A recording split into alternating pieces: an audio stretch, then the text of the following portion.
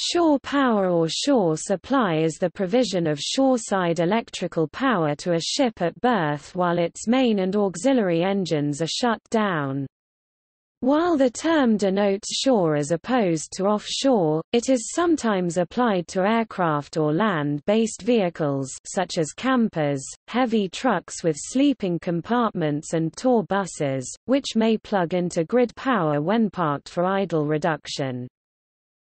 The source for land-based power may be grid power from an electric utility company, but also possibly an external remote generator. These generators may be powered by diesel or renewable energy sources such as wind or solar. Shore power saves consumption of fuel that would otherwise be used to power vessels while in port, and eliminates the air pollution associated with consumption of that fuel. A port city may have anti-idling laws that require ships to use shore power. Use of shore power may facilitate maintenance of the ship's engines and generators, and reduces noise.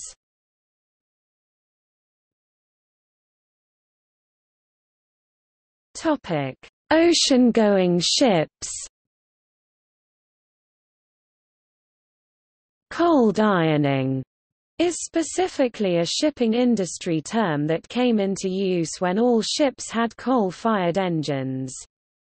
When a ship tied up at port, there was no need to continue to feed the fire and the iron engines would literally cool down, eventually going completely cold, hence the term, cold ironing.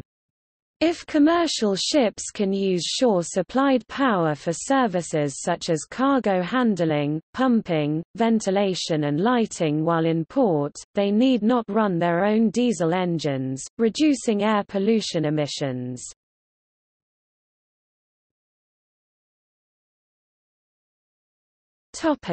Small craft. On small private boats, the power supply used is usually the same as regular household electric power. Some small craft may not need electric power while docked, or may replace on-board generators if any, with solar panels sufficient to run a small battery-operated system. Boats that are connected to shore power only need sufficient battery capacity to last until the next shore power connection. Batteries on a vessel may be used to power an inverter to produce AC, which can be used for appliances that require AC power.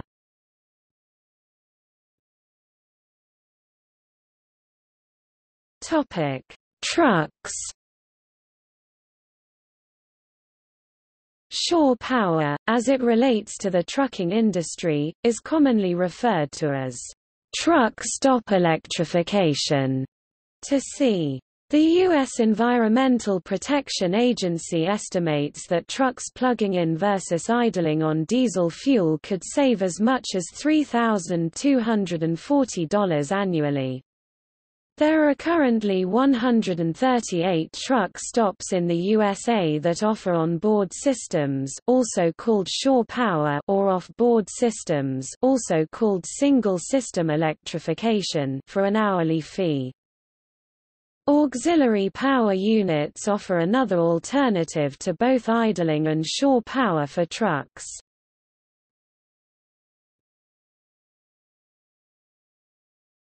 Topic Aircraft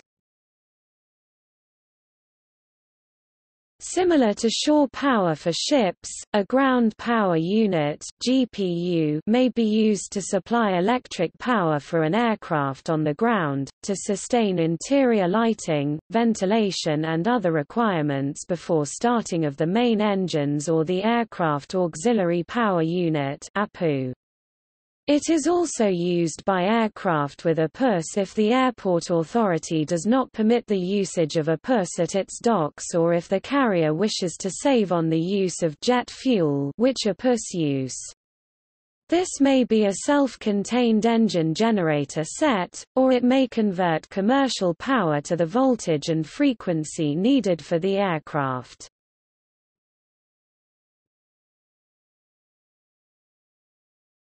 Topic. See also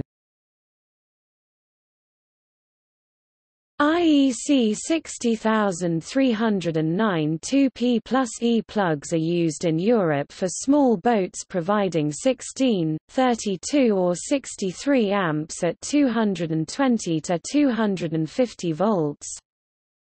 NEMA L530 plugs are most often used in N.